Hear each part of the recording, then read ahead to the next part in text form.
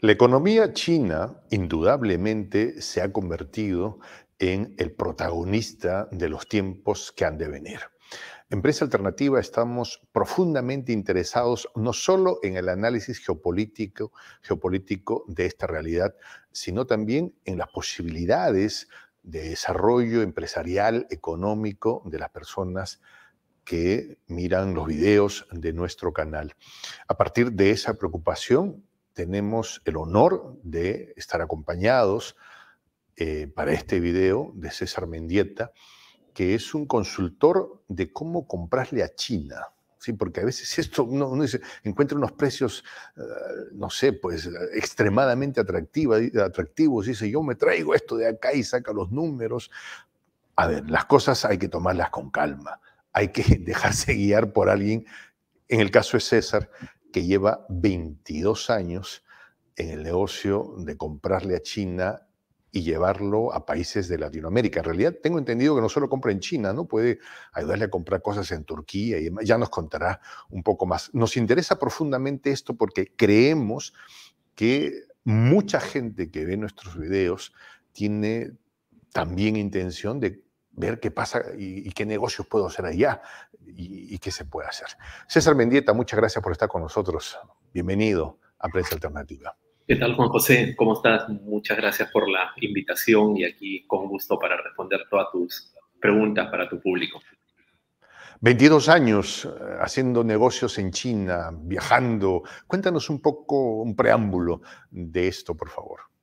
Eh, bueno, yo empecé eh, en una empresa familiar viendo el tema en sí de lo que son importaciones y de ahí mi primer viaje a China me abrió mucho el camino para entender todo el proceso, ¿no? Porque no solamente es el hecho de buscar al proveedor, esto es como una soga, ¿no? Que detrás de ese proveedor, pues, viene toda una cadena logística, viene la evaluación del proveedor como tal, viene el hecho incluso de desarrollar ese canal comercial, ¿no? Porque no solamente es comprar el producto, sacarlo de aduanas, sino también venderlo, ¿no? Y ahí también radica el éxito eh, del emprendedor que definitivamente pues va a desarrollar ese negocio de importación.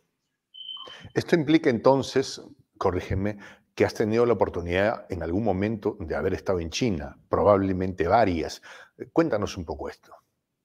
Sí, es muy frecuente que yo viajo a China. Eh, en China se desarrollan ferias de negocios durante todo el año, ¿no? Hace poco he estado en una feria en Shanghai, una feria relacionada con el rubro de lo que es tecnología médica, dispositivos, aparatos. He estado presente también en la feria de Cantón. La feria de Cantón es una feria que se desarrolla desde el año 57, me parece donde se expone pues toda la relación de productos que el mundo compra, ¿no? Se desarrolla en tres fases. Generalmente la primera fase son productos, por ejemplo, de electrónica, la segunda fase son materiales de construcción, la tercera fase lo que es juguetes, útiles de escritorio, ¿no? Entonces está repartido en diferentes rubros y el mundo viaja a contactar con proveedores, a ver productos, y visitar las fábricas. Entonces, esa es mi tarea que yo realizo todos los años para retroalimentarme y con esa información también trabajar muchos proyectos de importación, que esa es mi tarea que desarrollo. Y esto me lleva a una pregunta medio complicada. ¿Qué tan fácil o difícil es hacer negocio con los chinos? Bueno, eh, tu pregunta tiene que ver mucho desde el contexto que tú lo, vas a ver, ¿no? Porque eh, el hecho de hacer negocios con un proveedor chino implica también que nosotros nos preparemos, por una simple razón, porque estamos invirtiendo dinero, ¿no? Esto no es un curso de Excel donde tú te equivocas, pones control Z y no pasó nada, ¿no? Tú te equivocas con el chino, no puedes ir al banco y decirle, oye, control Z, el proveedor no, no existe, ¿no? O control Z, pues este, me equivoqué de producto. Entonces, definitivamente implica eh, trabajar esa etapa de, prepararse. toca también eh, la etapa de hacer un estudio de mercado, ¿no? Muchos emprendimientos a veces fracasan porque yo simplemente me guié del youtuber, me guié de repente mi percepción, pero no analicé mi mercado. Traje un producto que hay demasiada oferta en el mercado o de repente ya ese mercado está copado por algunos distribuidores mayoristas grandes y a veces ellos en la medida que mueven una mayor cantidad de volumen, ahí está su rentabilidad, ¿no? Eh, toca también lo que te comentaba hace un momento, el desarrollar ese canal comercial. La importación no, no termina cuando uno retira la mercadería de aduana, termina un proceso, pero viene ahora el más importante que es vender el producto. ¿no? Y para vender el producto tú también tienes que invertir, invertir en un equipo de marketing, invertir en un equipo de, de ventas, invertir en publicidad, ¿no? Porque por arte de magia el producto no se va a vender solo una vez que sale de, de aduanas, ¿no? Obviamente tú tienes que hacer esa tarea y esa tarea también cuesta, ¿no? Y es lo que muchas veces no se explica, no se brinda y a veces el emprendedor termina pues con todo su dinero en cajas, ¿no? En su almacén. Eso me hace acordar que hace, bien, hace tiempo atrás visité a una amiga y tenía literal este, un container de, de, pequeños aretitos que había comprado de Panamá y que nunca pudo venderlo. Ya tenía como ocho años ahí y, y, y claro, había sido un entusiasmo. Un, sacó los números, dijo yo aquí vendo y me voy a convertir en multimillonaria. En Excel funcionaba, pero en la práctica no se vendió. Uh -huh. eh, ¿Qué tan difícil es hacer negocios con los chinos en principio? Para, para, para ponerme eh, en la primera parte de la, de la respuesta que me das. Eh, hay una barrera lingüística, cultural. De hecho, alguna vez alguien me dijo es que ellos piensan distinto a nosotros. Eh, de pronto hay un choque cultural muy grande. Nos une el mismo criterio, ganar dinero. Quien quiere hacer negocios está porque quiere ganar dinero en buena lid, pero cada quien viendo sus propios intereses. Eh, ¿Qué tan complicado es hacer negocio con el chino? Hay, es muy difícil, hay mucha gente deshonesta, la, el chino suele ser muy honesto, hay generalidades. Explícanos un poco la percepción que tienes al respecto. Claro, mira, para empezar, el chino es comerciante, es negociante y el chino te va a querer vender eh, el producto. Pero es tu tarea también conocer ese producto, porque muchos casos llegan al chino, le compran por la foto, pero no le especificas las características de ese producto. Y a veces el chino, por ganar un poco más, te da una menor calidad, que es muy distinto que tú le especifiques todas las características de tu producto. Y para eso, obviamente, tú tienes que conocer el producto. Muchos casos de importación fracasan porque se compra simplemente por la foto, ¿no? Y, claro, obviamente, pues el chino te va a dar de repente lo más barato, pensando, no como mala fe, sino que pensando de repente el criterio que tú estás buscando, un producto pues barato, y eso no significa que lo vas a vender rápido.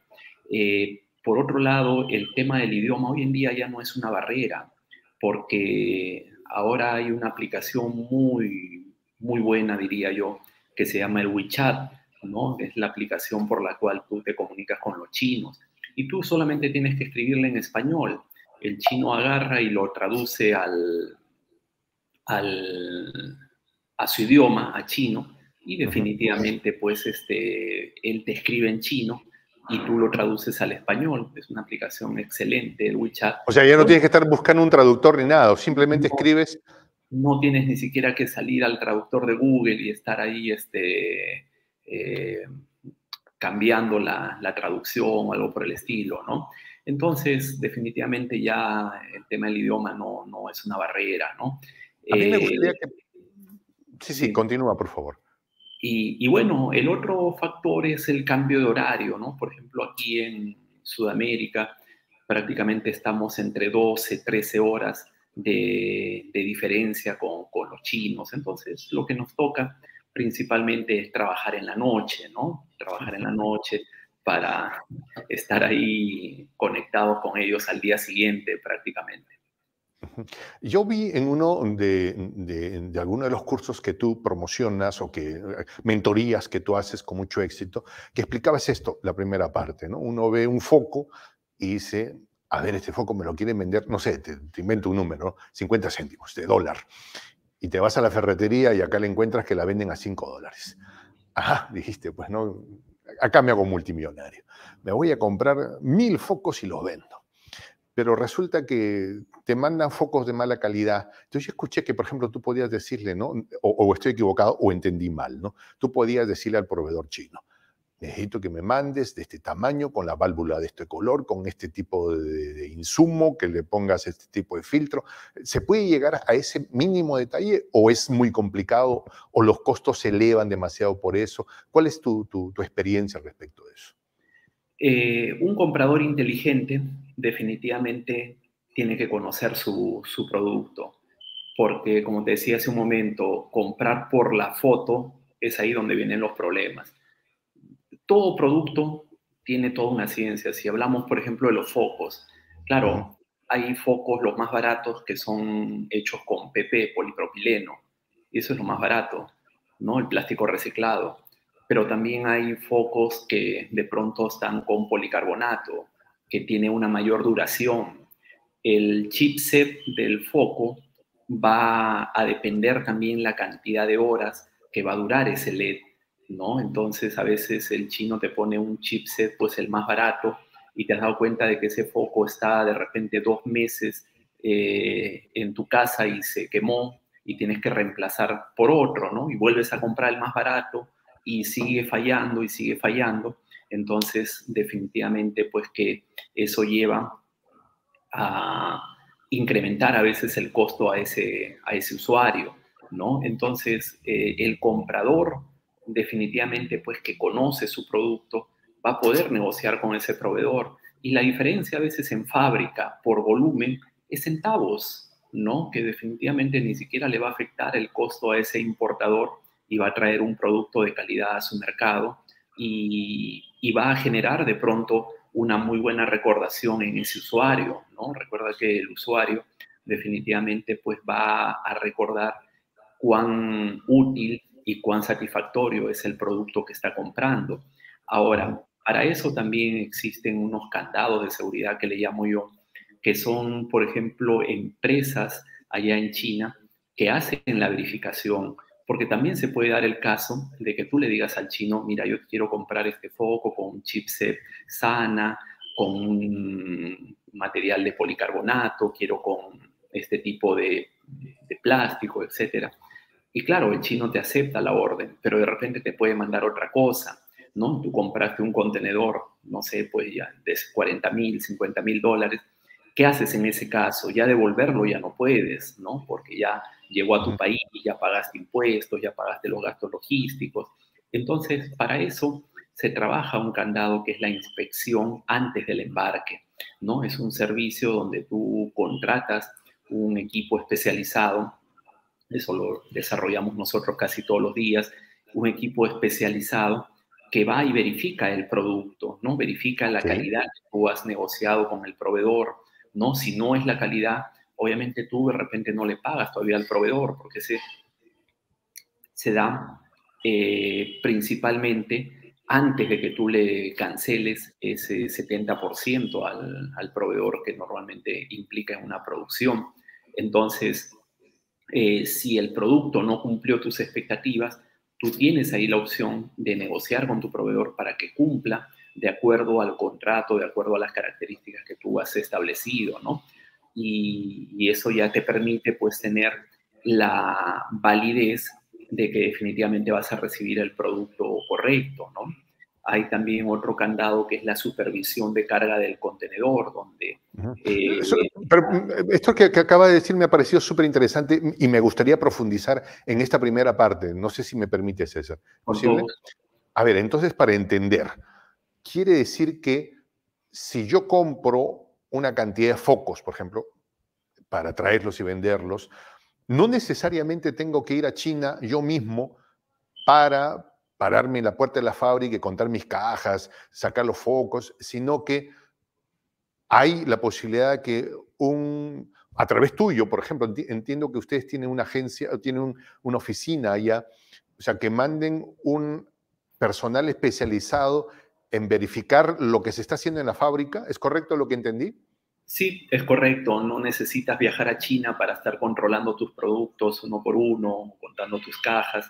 Para eso hay un equipo especializado, ¿no? Es un equipo que se especializa en diferentes rubros. El que va a ir a revisar, por ejemplo, ropa, no es el mismo que va a revisar maquinaria, ¿no? Entonces, es gente que está entrenada y preparada para controlar lo que es productos, hacer inspecciones preembarque y te van a enviar un informe, es un informe detallado con fotos, videos, toda la información que tú necesitas para que puedas este, completar o de pronto reclamar al proveedor sobre esa transacción. Pregunta, entonces, a ver, para entender, yo vi a un proveedor en Ali o en Alibaba, ¿no? Entonces me, me escribo con el proveedor chino por, WhatsApp, por y me manda fotos, me manda algunas descripciones. ¿Y qué toca en ese momento? Decirle, te voy a mandar a mi representante para que te verifique, porque podría ser un estafador. Me, pongo a pensar, ¿no? O sea, cuando hay dinero por medio, mucha gente puede hacer muchas cosas. ¿Qué es lo que toca ahí? O sea, le digo, bien, me has convencido, te mando mi, mi inspector para que vaya. ¿Cómo funciona eso? Claro, obviamente son varias etapas, ¿no? Si tú vas a empezar hacer negocios con un proveedor chino y vas a comprar una determinada cantidad de productos, ya estamos hablando de una inversión fuerte probablemente que vas a realizar, definitivamente tu labor es proteger esa inversión. Eh, una opción es, por ejemplo, una auditoría al proveedor. Un equipo va y verifica si ese proveedor existe, si es una fábrica, o es un intermediario, o a veces de repente ni siquiera existe, ¿no? Me ha tocado casos donde van a la supuesta dirección y no existe, no lo conocen a ese proveedor, o de pronto la dirección que te manda el proveedor o el nombre de su empresa no está en los registros chinos, ¿no? Es como decir, por ejemplo, aquí Sunat o los registros públicos, no está registrado ese, ese proveedor, ¿no? Entendamos, para hacer un paréntesis, Alibaba es simplemente un portal para buscar proveedores. Alibaba no vende productos, ¿no? Que mucha gente confunde y muchos youtubers en el mercado. Pregunta. compren Alibaba. Alibaba no vende. Pregunta, pero Alibaba te da una verificación y te dice cliente verificado. ¿Qué tan confiable es eso? Es muy subjetivo, es muy subjetivo porque esas verificaciones no son en tiempo real. Si tú te das cuenta y entras a cualquier proveedor de Alibaba que tiene una verificación, Probablemente esa verificación ha sido de hace dos meses, hace seis meses, hace un año o de repente hace pues este, diez meses y tú no sabes qué puede haber pasado en ese, en ese lapso. ¿no? Si ¿Qué podría haber pasado? Que la fábrica quebró, porque quiebran, o sea, eso pasa en cualquier parte del mundo. Supongo, no sé, o qué podría pasar. Puede quebrar, puede el proveedor estar en problemas financieros y y de pronto pues eh, recibió tu, tu, dinero y desapareció.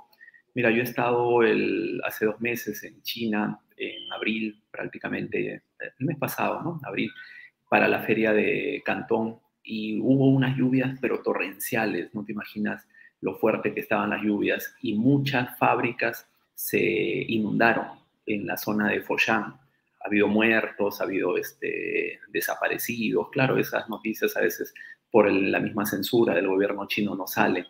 Pero imagínate, ¿no? Que tu mercadería ya está lista para embarcar y se inundó la fábrica y de repente ese proveedor pues no, no quiere reconocer, ¿no? Entonces pueden haber muchos factores externos que ese reporte de Alibaba es muy subjetivo a mi parecer, ¿no? Es un reporte muy ligero, no digo que es malo, pero es muy ligero como para de repente tú querer invertir una fuerte cantidad Podríamos de dinero. definirlo como un radar de aproximación, digamos, pero no como para soltar un cheque. Exactamente, ¿no? Exactamente. Ya, ok. Ahora, eh, yo vi en Alibaba, un Alibaba, un proveedor, digo, me interesa, el tipo está verificado, pero ahí surge mi primer dilema.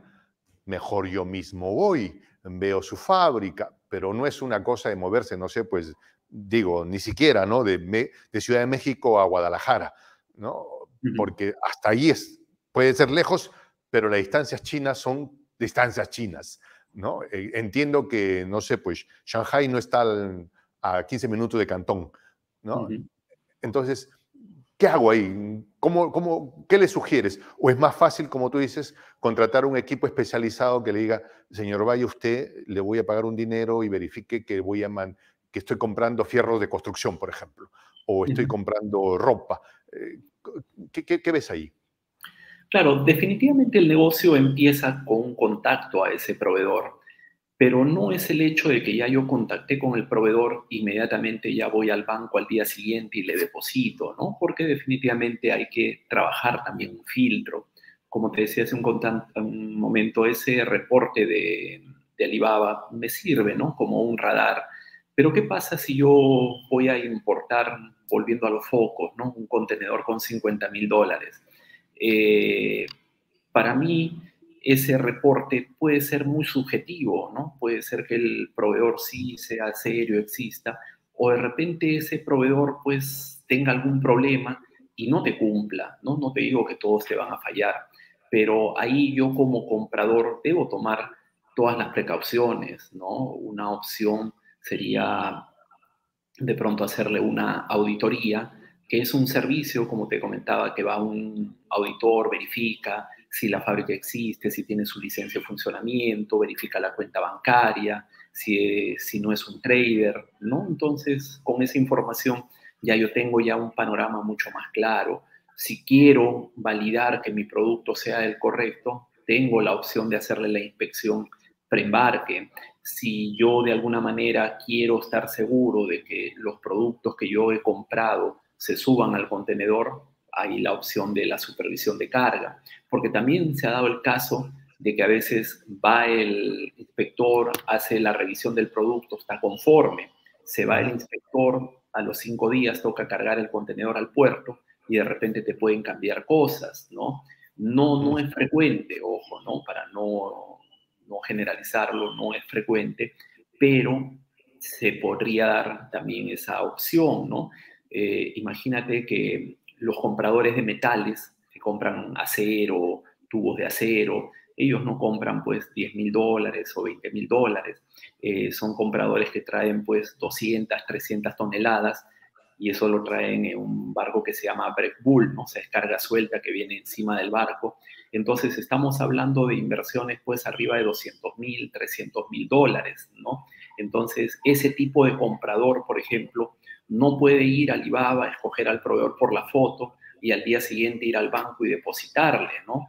Ahí a ese comprador ya definitivamente tiene que trabajar otros filtros, incluso una carta de crédito que es un mecanismo que se trabaja a través del banco y el banco obviamente va a pagar al proveedor en la medida que el proveedor ha cumplido los acuerdos establecidos en la proforma, ¿no? Entonces, definitivamente hay diversos tipos de compradores y diversos tipos de controles de seguridad que tengo que realizar con ese proveedor. Si yo voy a comprar, no sé, pues una cerradura eléctrica, una muestra que vale de repente 70 dólares, no necesito hacer una inspección, no necesito de repente hacer una auditoría de fábrica, no necesito pagarle con carta de crédito, ¿no? Básicamente le compro al proveedor, hasta le puedo pagar por PayPal, recibo la muestra y de ahí ya yo valido si me sirve o no el producto, ¿no? O de repente esa unidad es el primer paso para mi emprendimiento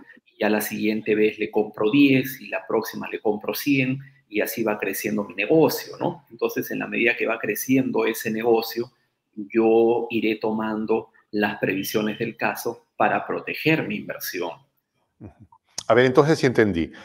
Tengo tres momentos que puedo verificar. Dime si estoy equivocado. A ver, uno, ir y mandar un inspector para verificar si la fábrica o el vendedor existe y y las condiciones financieras o, de infraestructura del proveedor. Segundo momento, verificar que lo que he comprado es lo que me han dicho que me van a vender. ¿no? Que entiendo se llama inspección pre-embarque. Pre-embarque. Y tercero, no sé si estoy correcto, sería la inspección en el embarque mismo para ver que están embarcando lo que me dijeron que se iba a vender. Ahora, mm, si, fuera así, que, hice correctamente la lectura, nos dices además que no siempre hay que cumplir con los tres, porque dado el giro de algunos negocios, eh, basta con la primera como que me da ya la certeza de la segunda y la tercera. ¿Es correcto? Es correcto, no necesariamente tienes que hacer los tres servicios, porque claro, esos servicios también cuestan, ¿no? Es un equipo que en China se moviliza, el día hombre y todo lo demás. Entonces, no necesariamente es hacer los tres servicios en una compra. Eh, volviendo ¿no? al caso de los metales, yo voy a comprar 300 toneladas de, de acero en planchas, que voy a invertir de repente pues unos 400 mil dólares bueno, yo en primer lugar negociaría con el proveedor para pagarle con una carta de crédito. En segundo lugar, esa carta de crédito estaría condicionada a revisar mi producto eh, antes del, embarque y verificar también que se carguen las toneladas a ese contenedor.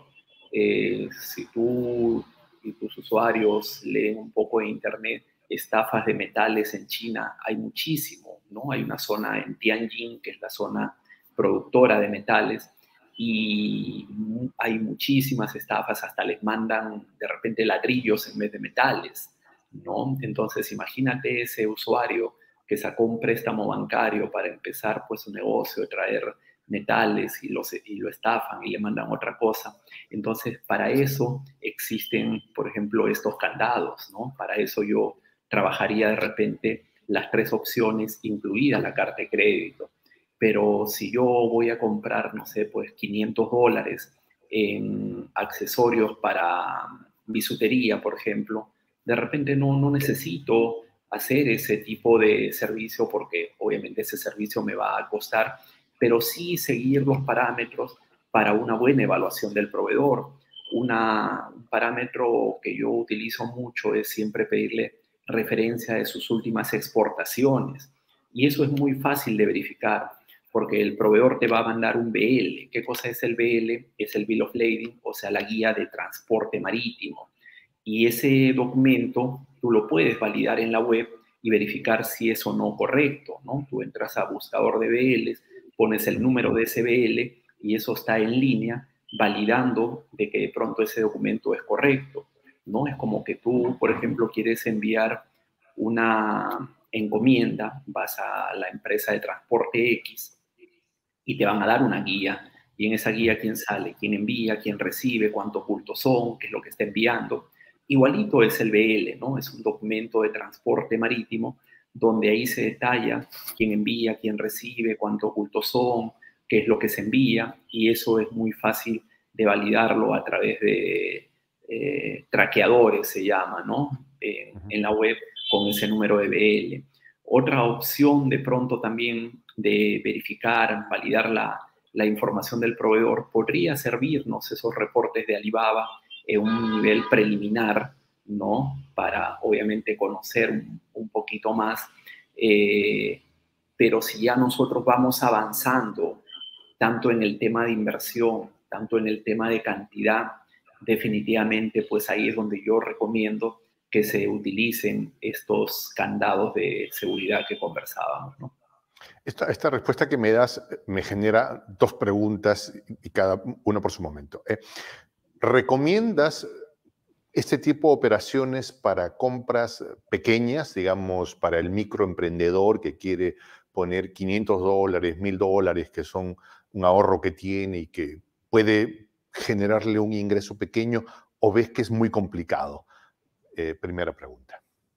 Bueno, un microemprendedor, lo que yo le recomendaría mucho es trabajar sus costos primero, no dejarse guiar por información que a veces hay en las redes, porque a veces también eh, ahí viene el fracaso, ¿no? Imagínate que ese microemprendedor le dijeron con 500 dólares puedes importar de repente bicicletas y compró pues este, 10 bicicletas. Pero no te dicen todos los gastos que tienes que generar para traer esas bicicletas hasta tu almacén, porque esas bicicletas no las vas a traer por la vía aérea, tienes que traerlo por la vía marítima. O sea, traerlo aéreo lo puedes, pero el costo del flete va a ser altísimo, ¿no? Entonces tienes que traerlo por la vía marítima y vas a tener que pagar un flete. Y cuando llega esa carga a tu país, ahí viene toda una serie de gastos logísticos, ¿no? Porque ese contenedor lo tienen que bajar y ese contenedor lo bajan con una grúa, lo ponen en un camión y ese camión va a un almacén. Entonces date cuenta de que ahí hay varios costos, ¿no? El costo de la descarga, el costo del transporte al almacén. En el almacén ese contenedor lo tienen que abrir y separar la mercadería de todos los importadores y hay un costo de desconsolidación. Viene todo el proceso de aduanas, hay un agente de aduanas que te va a cobrar ese servicio, ¿no? El costo propio del almacén por tener la mercadería ahí, ¿no? Eh, esa mercadería, una vez que pasaste aduanas, tienes que contratar un transportista para que lo lleve a tu negocio, ¿no? Entonces, tienes que ver también si va a ser o no rentable eh, el hecho de traer una pequeña cantidad para tu negocio y si es rentable, correcto, da el paso, ¿no? Pero no, guiarse por esa ilusión que a veces vemos, ¿no? Mira, la bicicleta ahí en China está a 30 dólares, aquí en mi país vale 100, voy a ganar 70. No, porque claro, no va a ser lo mismo traer cinco bicicletas que traer de repente un contenedor con 350, ¿no? Entonces, ese consejo es muy básico para de repente emprendedores que recién inician.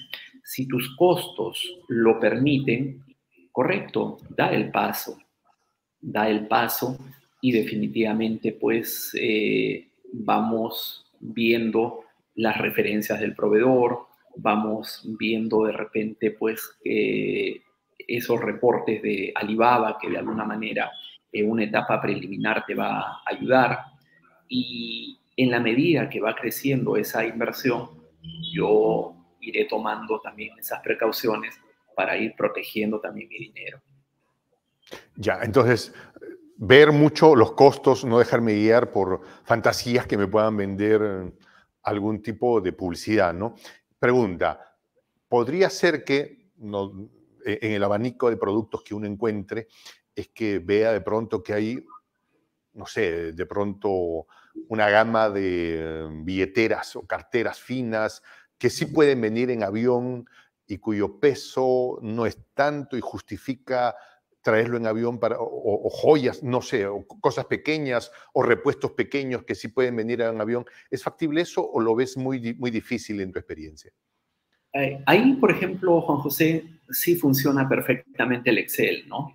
Porque eh, ahí ya lo que nos toca es trabajar los costos, ¿no? Entonces, yo voy a importar joyas, voy a tener pues la información, cuánto me cuesta esas joyas, y voy a consultar con mi agente de carga cuánto me cuesta el flete aéreo, cuánto me cuesta el flete marítimo, ¿no? Voy a sumar todos los gastos y definitivamente pues ahí el Excel me va a dar un resultado, ¿no? Me va a decir, mira, trayéndolo aéreo este producto te cuesta tanto, trayéndolo marítimo te cuesta tanto, ¿no? Claro, la diferencia marítimo es el tiempo, ¿no? El barco de China a Perú, estamos hablando pues de 30, 35 días, que va a demorar la, travesía, eso súmale 10 días más de todo el proceso de aduanas, ese es el tiempo que más o menos vas a tener en cuenta. Ahora, antes de embarcar... Teniendo en cuenta, César, perdón, que mucho de nuestro público está en Perú, pero también está, por ejemplo, en México, está en Centroamérica, está en Brasil, en Chile, o sea, teniendo eso en cuenta que pueden haber distintas rutas posteriores que se puedan abrir, ¿no? Sí, es cierto, ¿no? Pero el tiempo promedio, estamos hablando entre 25 a 35 días en, esta zona, ¿no? Así que a eso súmale unos 10 días más entre el proceso de aduanas. Ahora, si ese producto tiene producción antes de embarcarse, van a tener que producirlo, va a depender de la fábrica, del proveedor, puede ser 15 días, puede ser 20 días, puede ser 30 días que demore la, producción de tu producto, ¿no? Entonces, eh, volviendo a tu pregunta, ahí sí funcionaría el Excel para determinar, pues, si yo voy a invertir mil dólares o voy a invertir diez mil, cuánto es lo que voy a tener el costo del producto. Y eso se puede saber porque es muy fácil. Llamas a los agentes de carga, aduanas, y te van a dar ya una liquidación, una simulación de todos los costos. Yo igual puedo ayudar a tu público, cualquier cosa. Esa es la pregunta. Alguien que dice, ok, me parece interesante, ¿tú los puedes acompañar en ese proceso de agarrar el Excel y ingresar?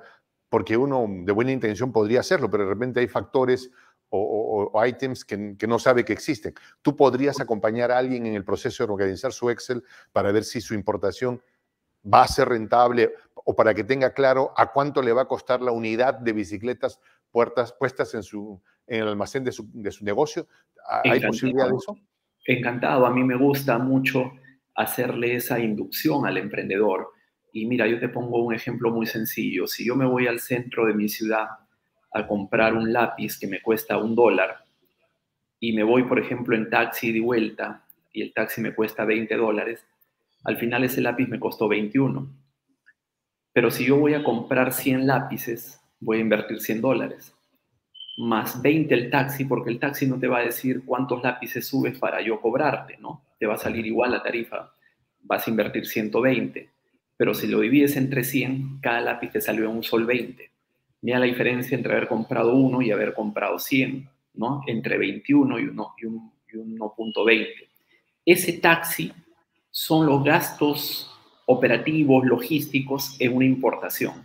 Es la grúa pagas la grúa, bajes un lápiz o bajes 20. Es el almacén. Esa grúa no le interesa que ese contenedor venga con 500 dólares o 5 millones de dólares, ellos te cobran un servicio. Ese transportista que recibe el contenedor y lo traslada al almacén no le interesa que tú traigas 5 bicicletas o que traigas 300 bicicletas, él te cobra un servicio de transporte, ¿no? El almacén te cobra un servicio de almacenaje, el agente de aduana te cobra un servicio, ¿no? Entonces, básicamente el taxi vendrían a ser todos esos gastos logísticos, ¿no? Entonces ahí está la clave del éxito, en licuar esos gastos logísticos. Si tú lo licúas entre la mayor cantidad de productos, obviamente ese costo logístico se hace pues eh, centésimas, milésimas, ¿no? Ahora, eh, acá me hacen una pregunta. Eh, la expectativa que he despertado es tanta que acá todo el equipo venía a escuchar la entrevista que estamos haciendo, César. Entonces acá alguien me pregunta y dice, es como, a ver, eh, cuando pusiste el ejemplo este que yo le puedo pedir al proveedor chino que me mande unos documentos para verificar cuáles son sus últimos envíos, es como algo así como preguntarle quiero que me mandes los documentos de los últimos negocios que has hecho en el último mes o en los últimos dos meses, tres meses, para saber en papeles con quién estoy negociando. ¿Sería más o menos eso? Eh, sí, hay casos que el proveedor a veces no te quiere mandar esa información por proteger de repente también quién es su cliente y es totalmente válido. Pero ahí hay algo que se puede superar tú dile al proveedor, puede borrar la información de su cliente, ¿no? O puede ocultar ahí en el BL la información de su cliente y me envía esa información, ¿no? Porque claro, hay proveedores que a veces no, no quieren mostrar quién es su cliente y eso es totalmente válido, pero otros no tienen ningún problema y es más, tú los puedes llamar a ese cliente, pedir referencias y de repente te las va a dar. Pero a veces eh, sí es cierto, el proveedor no, no te quiere mostrar eh, toda la información, entonces simplemente se le pide que oculte el nombre de su cliente, eso es muy fácil, con un editor eh, lo, borra y tú puedes sí verificar SBL, ¿no? En internet tú entras al Trajan Trace, me parece, o rastreador de BL, pones ahí en Google y ahí con el número de BL tú puedes validar si ese documento es o no correcto. ¿Y, en ese proceso también los puedes acompañar tú? Por supuesto, encantado, encantado de, Ahora, pregunta. A ver, eh, si, si, si, aprendí la lección, ¿eh? es primero verificar que el proveedor exista, si la fábrica está, si, si no está deudado, si dice que si, si es lo que dice ser, primero. Segundo, verificar que el producto que se está elaborando en fábrica preembarque es lo que yo he pedido. Y tercero, verificar que lo que me mostraron se está embarcando. Pregunta, ¿este servicio tú lo puedes hacer para cualquier ciudadano de Latinoamérica, el Caribe, o, de habla hispana, o de otros idiomas, en cualquier parte de, América Latina, por ejemplo? ¿Eso es posible? O sea, alguien que está, te pongo, en Nueva León ahorita mismo, o está en Santiago de Chile, ¿tú podrías eh, prestarles este servicio ahí en China? Sí, por supuesto, Juan José. Em, yo trabajo con todo un equipo, tanto en mi país como en China, y no necesariamente yo tengo que viajar porque ya yo tengo ese equipo que de alguna manera pues este, me va a dar ese servicio. Yo trabajo con clientes de Colombia, he trabajado con clientes de Brasil, he trabajado con clientes de Chile, de Guatemala, de México también, ¿no? Tuve un caso de cliente que compraba eh, para, para drywall, ¿no? Entonces, definitivamente que puedo atender a cualquier parte del mundo, ¿no? Porque mi equipo está ahí en China. Y, bueno, un equipo con el que yo trabajo, ¿no? Un equipo tanto para lo que hacen las verificaciones, como también hay agentes de compra, ¿no? O sea, yo tengo también agentes de compra que me ayudan a buscar fábricas ya especializadas o fábricas a un determinado rubro para clientes específicos también. Acá alguien me pregunta y me dice lo siguiente, ¿qué pasa si yo me junto con mi amigo que vende bicicletas, el otro trae repuestos de motos, el otro trae llantas para camiones y entre todos consolidamos un container y con eso cubrimos los costos fijos como de la grúa, la aduana?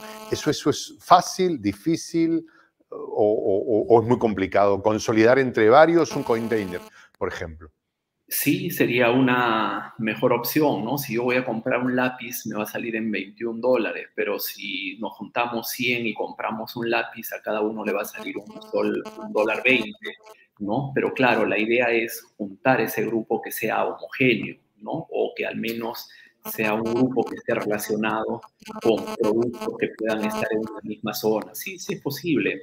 Yo tengo un equipo allá en China que me consolida de diferentes partes de China y todo eso se llena en un contenedor y se, trae, ¿no?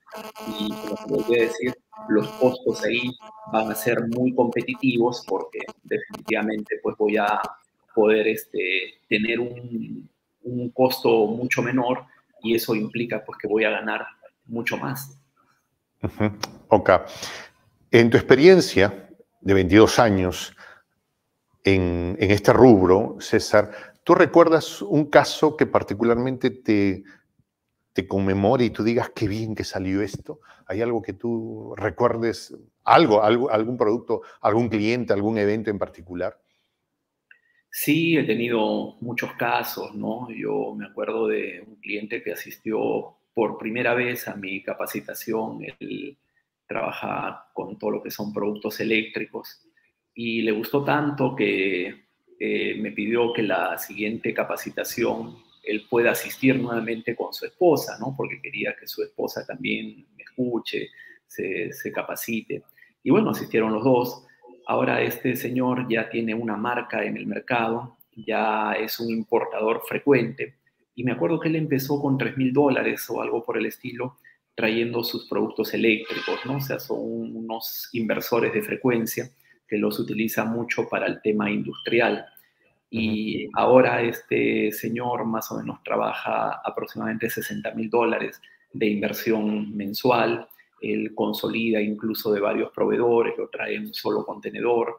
Y me gustó mucho su, su caso de éxito, que él empezó pues con 3 mil dólares, ¿no? Este, tengo casos de emprendedores, ¿no? Me acuerdo eh, una vez una chica que trabajaba mucho en YouTube haciendo tutoriales de maquillaje. Y una vez empezó comprando por estas páginas tipo AliExpress unas 10 brochas de maquillaje y las promocionó en su canal. Y tanto le gustó a las usuarias que se lo compraron y ahí le despertó el bichito, ¿no? Eh, volvieron a traer una pequeña cantidad de productos y después se asoció con otra chica y ya trajeron una importación más o menos como de 7 mil dólares. Y, claro, ahí va lo que yo te decía al inicio, ¿no? Eh, esta chica, por ejemplo, ¿qué es lo que logró o qué, cuál fue su éxito? Que ella tenía un canal de venta, ¿no? La importación no termina cuando retiras la mercadería de aduana. La importación termina cuando tú vendes el producto y ese cliente está satisfecho y tú has generado una utilidad. Ahora, yéndonos al otro lado, ¿en algún momento te ha tocado encontrarte con un cliente súper entusiasta que quiere traer, no sé, la llanta, los patines con las rueditas de colores y tú sacas la hoja Excel y dices, no va, y él sí, con que sí, con que sí, y tú te ha tocado decirle, no la veo en algún momento? Claro, lo que pasa es que el Excel es la herramienta principal y básica que tú tienes que trabajar antes de tomar la decisión, ¿no? Porque tú, recuerda, estás invirtiendo dinero y tú tienes que saber más o menos la radiografía, cuánto es lo que tú vas a invertir, ¿no? Entonces, si ese Excel te dice que vas a ganar dinero, perfecto, continuamos ya todo el proceso, ¿no? Y ahí, de acuerdo a la inversión, me tocará verificar o no al proveedor, eh, trabajar con una carta de crédito, etcétera, y ya continuar hasta recibir ya mi, mi, producto. Es básico, ¿no? Si tú no haces un Excel, estás con una venda en los ojos importando tus, tus productos, ¿no? todo, todo, esto que tú nos explicas, eh, Pregunto yo, ¿no lo has sistematizado en una especie de curso, de mentoría? Alguien que quiere decir, no, pues ya, estuvo bonito el video con el J, pero yo quiero aprender así, pasito a pasito, ¿no? O sea, primero esto, lo otro. ¿Hay manera de, que tú puedas eh, asesorar o formar a alguien en un modelo de sesiones? No sé, pregunto. Eh, bueno, sí, yo he capacitado y capacito actualmente hace 15 años a emprendedores. Eh, he viajado a diferentes países, incluso a dictar conferencias. Y bueno, yo he desarrollado también un curso que lo tengo en una plataforma de Hotmail, es un curso completo donde te explico pues desde la A hasta la Z todo el, todo el proceso, ¿no?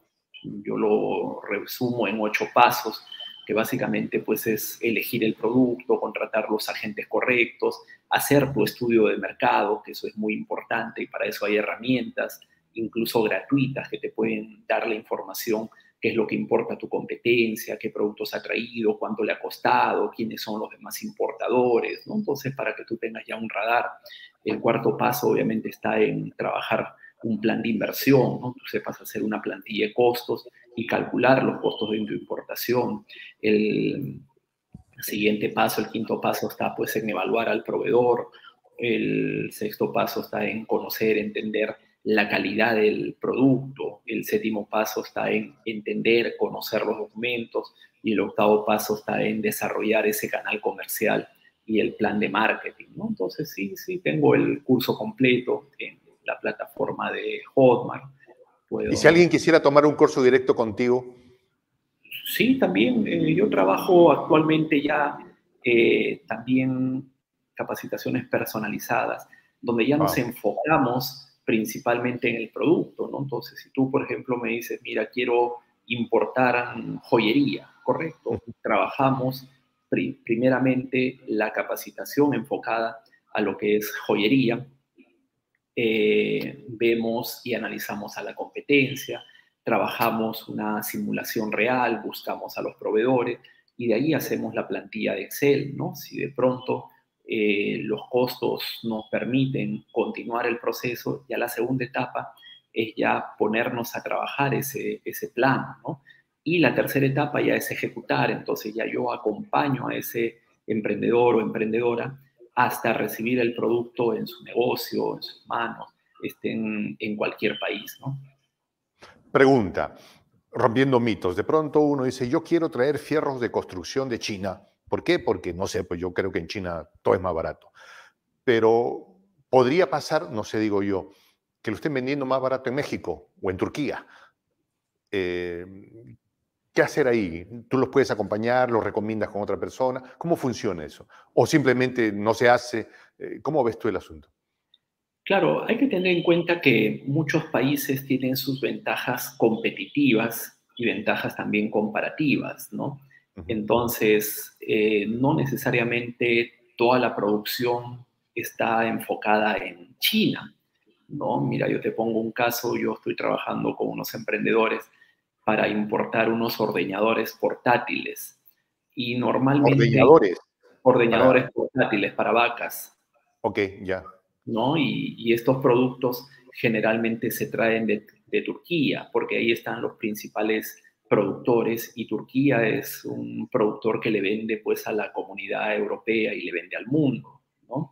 Eh, tengo casos que a veces se importa también de Brasil eh, soya o se importa accesorios, por ejemplo, de, vehículos, ¿no? Entonces, eh, tengo clientes que, por ejemplo, compran paracetamol de la India, ¿no? Entonces, no necesariamente es China el centro de producción. Claro, China hoy por hoy es la fábrica del mundo, pero a veces hay productos que por su naturaleza, definitivamente, pues hay un país que tiene ventajas competitivas al respecto y nos toca analizarlo. Entonces, esa información, ¿sabes dónde lo conseguimos, Juan José? En el tercer paso, ¿no? En el estudio de mercado.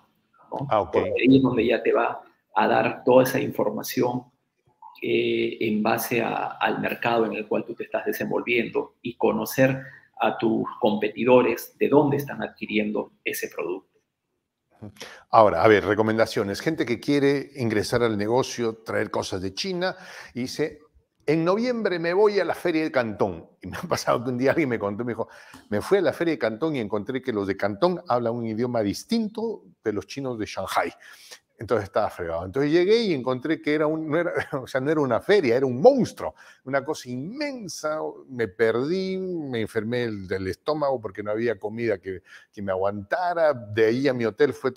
¿Cómo, ¿Qué recomiendas ahí? ¿Cómo se organiza? ¿Ir en grupo? ¿Ir eh, buscar un, alguien que me reciba ya? ¿No ir? Eh, ¿Cómo, cómo ves tú la cosa así? Cantón, por ejemplo, la feria de Cantón que entiendo que es en noviembre. ¿O otras ferias que tú podrías recomendar? Exacto. La, feria de Cantón, claro, es una de las ferias más conocidas, más populares que existe en el mundo. Y también hay ferias especializadas, ¿no? Por ejemplo, ahora en diciembre en Shanghai hay una, feria que se llama automecánica, donde ahí tú encuentras todo lo relacionado con el tema de automóviles, mecánica y accesorios en general, ¿no? Entonces, únicamente encuentras proveedores de ese rubro. En marzo hay una feria de todo lo que es eh, mobiliario, ¿no? que se desarrolla en Cantón. Entonces ahí encuentras todo lo que es mobiliario para hogar, para oficina. Entonces son ferias ya focalizadas, ¿no? En Shanghai, lo que yo te comentaba, la feria médica. Entonces hay ferias también que son muy focalizadas para compradores ya específicos, ¿no? Ahora, en cada feria hay una especialidad, digamos. Cada feria eh, hay eh, pabellones para, para distintas cosas. A ver, la Feria de Cantón es una feria que se desarrolla en tres fases porque ahí se expone todos los productos que se venden en el mundo, ¿no? O sea, desde un alfiler hasta de repente, pues, un camión para transporte o un vehículo autónomo.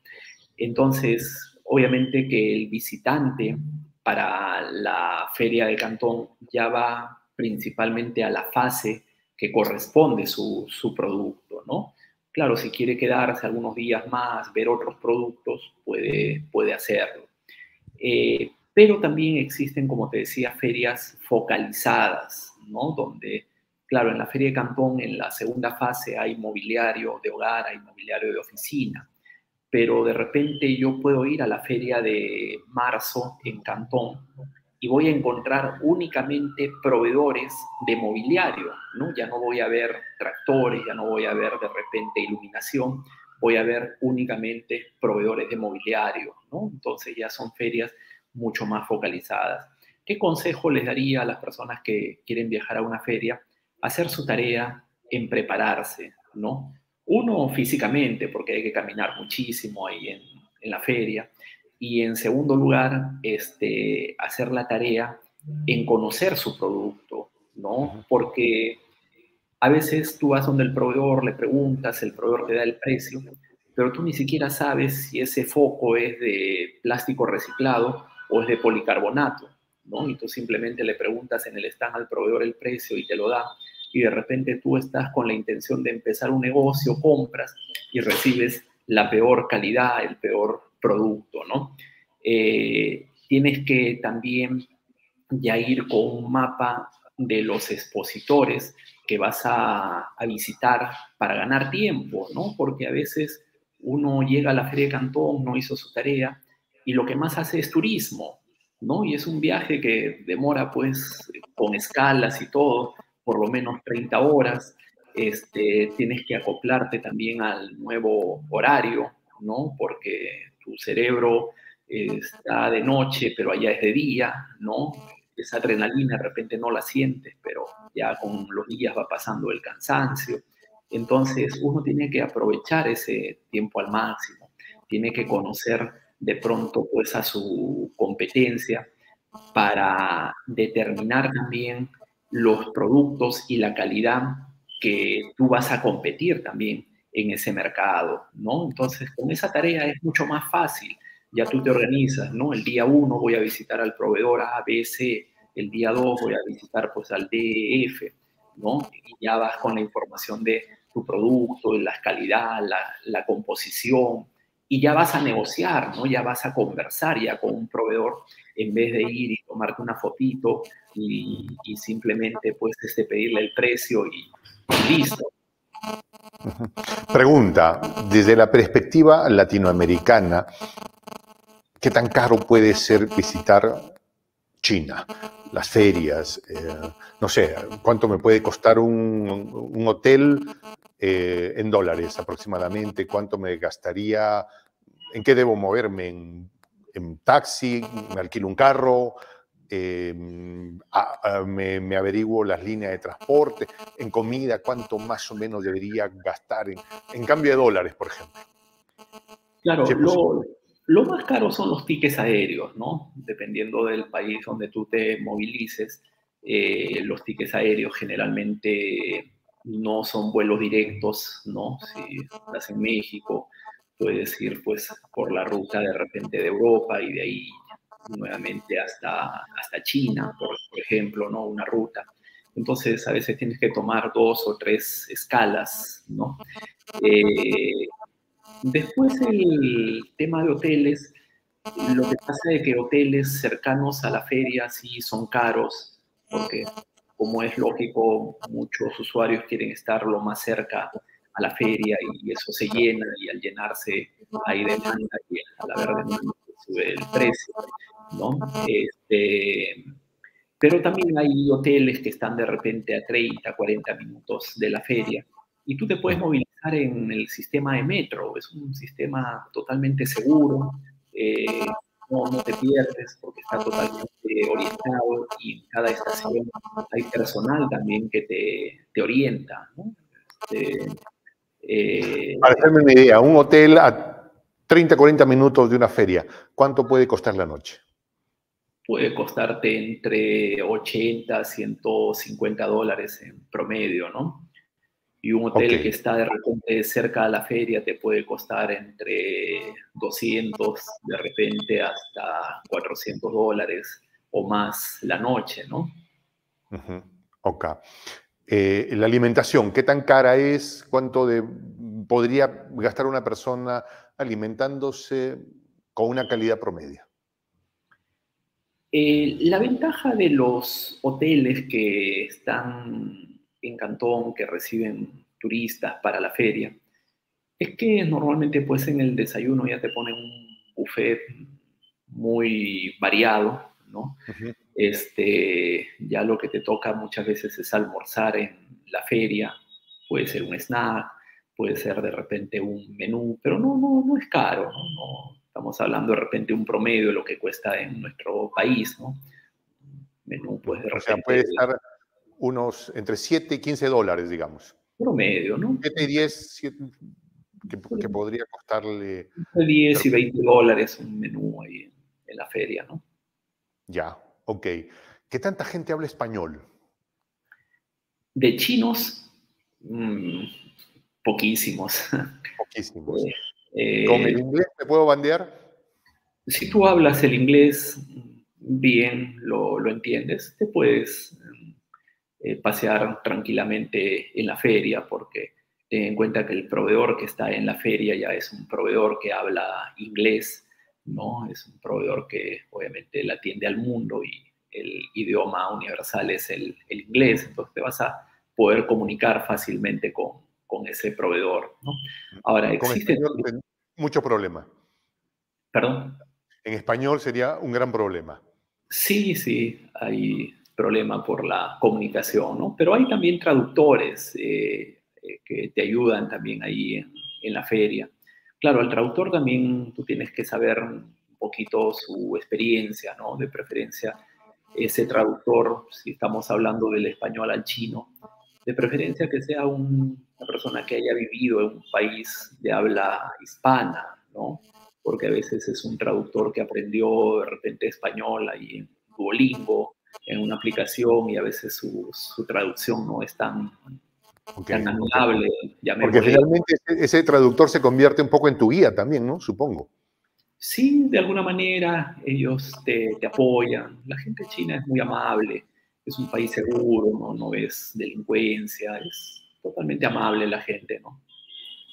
Pregunta sobre eso, me animaste la pregunta. ¿Qué posibilidad hay que alguien viaje tarde en el bus o en la línea y que bajando de la línea del metro lo asalten cuatro marcas o cuatro asaltantes? Eso no se, ve, no se ve. Y, y, es más, en China Tú no ves patrulleros, no ves policías. Lo que más ves por la ciudad son cámaras y el gobierno, pues a través del reconocimiento facial, ya te identifica inmediatamente. ¿no? Ok, ok.